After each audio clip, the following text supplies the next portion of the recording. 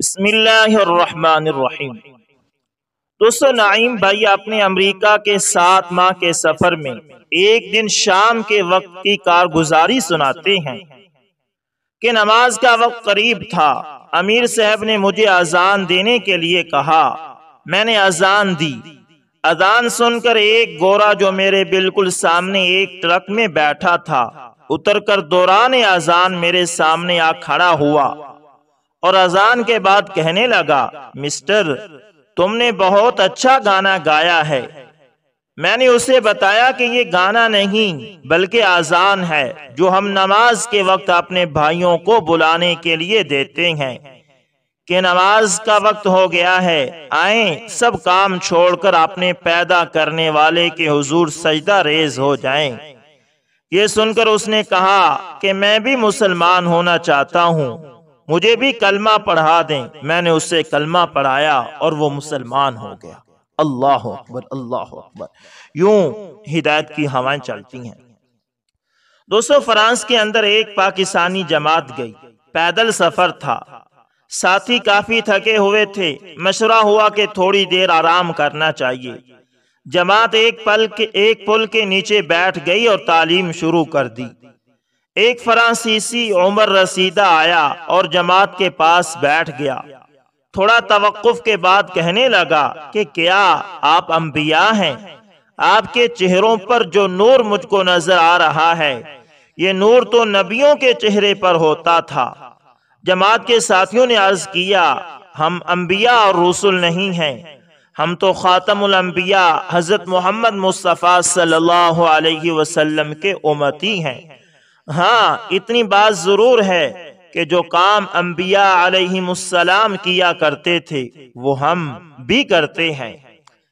इस पर वो जमात के साथ चलने को तैयार हो गया और ये भी जमात के साथ पैदल चल रहा था। जब एक मकाम पर ठहरे तो उसने कहा, मैं भी आपकी तरह बनना चाहता हूँ। तो जमात के साथियों ने उसको गुसल करवाया और कलमा पढ़वाया और कहा कि दो रकत नफल पढ़ो। अब जमात के साथियों ने नफलें शुरू कर दी। तो उसने जमात वालों को देखकर दो नफलें पढ़ी और बैठ गया। कहने लगा, मैं थक गया हूँ, आराम करना चाहता हूँ। लेटा तो अल्लाह ने उसे हमेशा के लिए आराम की नींद सुला दिया। और वो हमेशा हमेशा के लिए जन्नत का मुस्तक बन गया। अल्लाह पर कितना खुशकिस्मत इंसान था वो। मरने से पहले उसे कलमा नसीब हो गया। दोस्तों, एक दफ़ा हज़रत अमीर अली हमदानी ने हज का इरादा किया। सफ़र के दौरान आपके पास जितना ज़्यादा राह था, खत्म हो गया। आप बहुत परेशान हुए कि हज पर कैसे जाएँ, और अगर हज पर ना जाएँ तो वापस कैसे घर लौटें? कोई वाकिफ और शनासा पास न था जिससे मदद तलब करते। उसी परेशानी में आपने खुदा से दुआ की। अल्लाह, मेरे हक में तू वो बेहतरी कर जिसमें तेरी रजा और खुशी हो। उसके बाद आप मुतमिन होकर दरख्त के नीचे लेट गए। आपकी आँख लग गई। थोड़ी देर बाद आपको एक ज़यीफ औरत ने आकर जगाया। और कहा, ए अली, मैं हज करने के लिए काफ़ी मुद्दत से रकम जमा करती रही। अब जब रकम जमा हो गई तो मैं उम्र के ऐसे हिस्से में पहुँच चुकी हूँ कि हज के लिए सफ़र करने से माजूर हो गई हूँ। शायद अल्लाह को मेरा हज करना मंजूर नहीं। मैं इस माजूरी की वजह से सख्त परेशान थी कि एक रोज ख्वाब में मुझे आप सल्लल्लाहु अलैहि वसल्लम ने हुक्म दिया कि मैं अपनी सारी जमा शुदा पूंजी अमीर अली को दे दूँ, क्योंकि उनका ज़्यादा राह खत्म हो चुका है। मैं कई सालों के हिजाज के काफले देखती हूँ, मगर तुम मुझे कहीं नज़र नहीं आए। आज मेरी मुराद बर आई और तुम नज़र आ गए। लिहाजा ये लो मेरी जमा शुदा पूंजी जो मैंने हज के लिए जमा की थी। तुम हज पर जाओ और रोज़े रसूल सल्लल्लाहु अलैहि वसल्लम पर पहुंचकर मेरा भी सलाम अर्ज़ करना और कहना, खुदा के हबीब सल्लल्लाहु अलैहि वसल्लम, मैंने आपके हुक्म की तामील कर दी। अल्लाह अकबर अल्लाह अकबर। अल्लाह से मांगे तो सही। उससे जब भी कोई परेशानी हो तो अल्लाह से मांगे। अल्लाह फिर गैब से रास्ते खोल देते हैं। दोस्तों, मौलाना अशरफ अली थानवी रहमत ताला की तरफ़ से आपने सारे मुरीदीन और मुतल को ये हिदायत थी कि जब कभी रेलवे में सफ़र करो और तुम्हारा सामान उस मकदार से जायद हो, जितना रेलवे ने तुम्हें मुफ़्त ले जाने की इजाज़त दी है तो इस सूरत में आपने सामान का वज़न करवाओ और जायद सामान का किराया अदा करो, फिर सफ़र करो। खुद हज़रत वाला का अपना वाक़ है कि एक मरतबा रेलवे में सफ़र के इरादे से स्टेशन पहुँचे। गाड़ी के आने का वक्त करीब था। आप अपना सामान लेकर उस दफ्तर में पहुँचे, जहाँ पर सामान का वज़न कराया जाता था, और जाकर लाइन में लग गए। इत्तेफाक से गाड़ी में साथ जाने वाला गार्ड वहाँ आ गया, और हज़रत वाला को देखकर पहचान लिया और पूछा कि, हज़रत, आप यहाँ कैसे खड़े हैं? हज़रत अशरफ अली थानवी रहमत ताला ने फरमाया कि, मैं सामान का वज़न कराने आया हूँ। गार्ड ने कहा कि आपको सामान का वज़न करने का कोई मसला ही नहीं। मैं आपके साथ गाड़ी में जा रहा हूँ। आपको जायद सामान का किराया देने की कोई ज़रूरत नहीं। हज़रत मौलाना अशरफ अली थानवी रहमत ने पूछा कि तुम मेरे साथ कहाँ तक जाओगे? गार्ड ने कहा कि मैं फुला स्टेशन तक जाऊँगा। हज़रत ने पूछा, उस स्टेशन के बाद क्या होगा? गार्ड ने कहा कि उस स्टेशन पर दूसरा गार्ड आएगा। मैं उसको बता दूँगा कि ये हज़रत का सामान है। इसके बारे में कुछ पूछ कुछ मत करना। हज़रत ने पूछा कि वो गार्ड मेरे साथ कहाँ तक जाएगा? गार्ड ने कहा कि वो तो और आगे जाएगा। उससे पहले ही आपका स्टेशन आ जाएगा। हज़रत ने फरमाया कि मैं तो और ही आगे जाऊँगा। यानी मैं तो आखरत का मुसाफिर हूँ। आखरत की तरफ़ जाऊँगा। और अपनी कब्र में जाऊँगा, वहाँ पर कौन सा गार्ड मेरे साथ जाएगा? जब वहाँ आखरत में मुझसे सवाल होगा कि एक सरकारी गाड़ी में सामान का किराया दिए बगैर जो सफ़र किया और जो चोरी की, उसका हिसाब दो तो वहाँ पर कौन सा गार्ड मेरी मदद करेगा? अल्लाह अकबर अल्लाह अकबर। ये होती है एहतियात और खौफ खुदा कि हर मामले में आखरत को आगे रखा जाता है। हर मामले में अल्लाह को सामने रखा जाता है और फिर मामला किया जाता है। अल्लाह ताला ऐसा तकवा और ऐसी एहतियात हमें भी आता फरमाए। दोस्तों हजाज बिन यूसुफ ने हज़ारों मुसलमानों को मौत के घाट उतारा। वो इस उम्मत का सफाक तरीन शख्स था, लेकिन फिर भी उसने कभी ज़िंदगी में तहजुद की नमाज़ कजा नहीं की। एक हफ़्ते में कुरान खत्म किया करता था अल्लाह पर एतमाद और यकीन ऐसा था कि एक मरतबा उसकी बीवी पर कुछ आसीबी, यानी जिन्नात का असर हो गया। उसने आमिल को बुलाया। उस आमिल ने लोहे की एक कील दम करके रख दी और कहा, इसे ज़मीन में दबा दो। हजाज बिन यूसुफ ने पूछा कि यह क्या है? इस पर उस आमिल ने कहा कि दो ताकतवर तरीन आदमी बुलवाओ। जब वो आगे तो आमिल ने कहा, इस कील के नीचे लकड़ी रखकर इसे उठाओ। वो दोनों आदमी ज़ोर लगाते रहे, लेकिन वो छोटी सी कील ना हिलाई जा सकी। हजाज ने यके बाद दीगरे दो और का इजाफा करके बारह आदमी उसी काम पर लगाए। मगर पूरे बारह ताकतवर आदमी मिलकर भी उस लकड़ी को ना उठा सके। जिस पर लोहे की कील रखी हुई थी। अब आमिल ने कहा, देखिए इसकी ताकत। हजाज ने कहा, पीछे हट जाओ। अपनी छड़ी उठाई और फिर ये आयत इन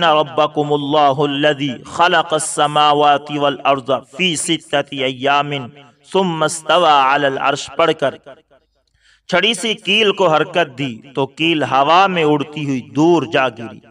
हजाज ने आमिर से कहा, भाग जाओ, मैं तुम्हारे अमलों का मोहताज नहीं हूँ। हजाज के यकीन की ताकत ने आमिल के शहर को तोड़ दिया।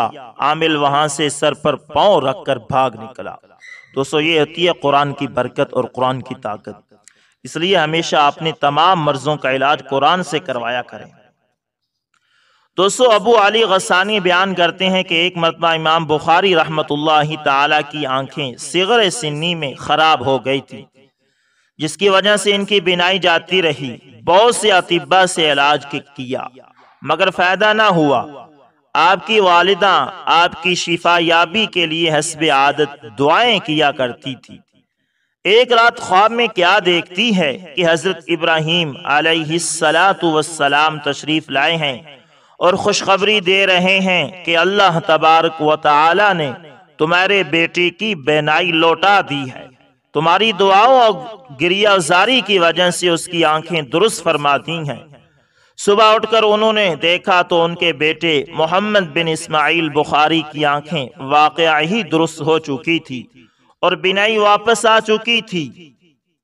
फिर उसके बाद हज़रत अल इमाम बुखारी रहमतुल्लाह ताला की बसारत इतनी कवी हो गई कि पढ़ने लिखने का काम चाँद की चांदनी में आसानी से कर लिया करते थे।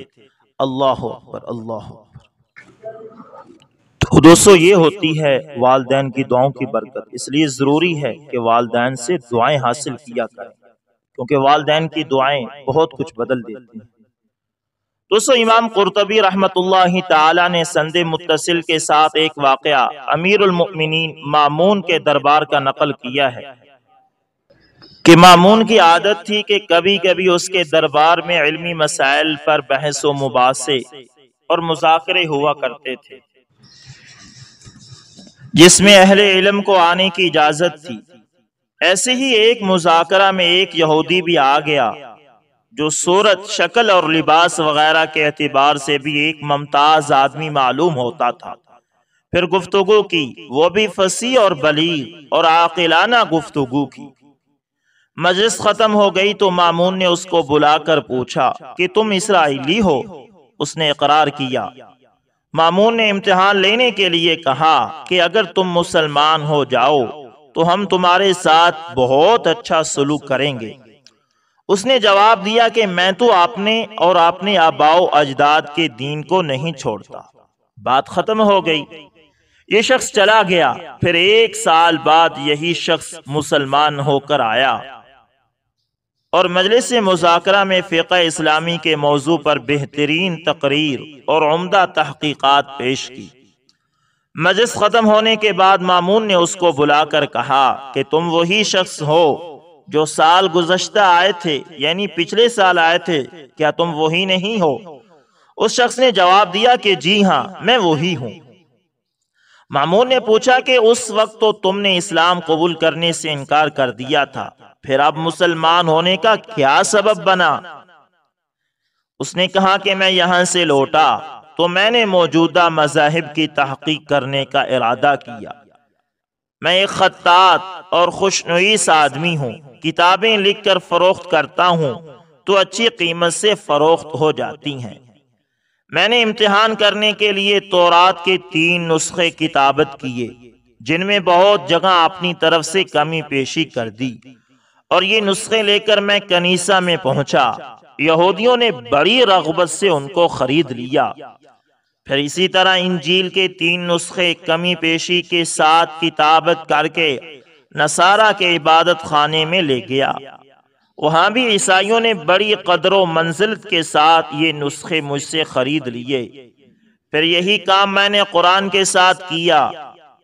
उसके भी तीन नुस्खे उम्दा किताबत किए, जिनमें मैंने अपनी तरफ़ से कमी पेशी की थी। उनको लेकर जब मैं फरोख्त करने के लिए निकला तो जिसके पास ले गया, उसने देखा कि सही भी है या नहीं। जब कमी पेशी नज़र आई तो उसने मुझे वापस कर दिया। इस वाक़े से मैंने ये सबक लिया कि ये किताब महफूज है और अल्लाह ताला ने इसकी हिफाजत की ज़िम्मेदारी ली है। इस वजह से मैं मुसलमान हो गया।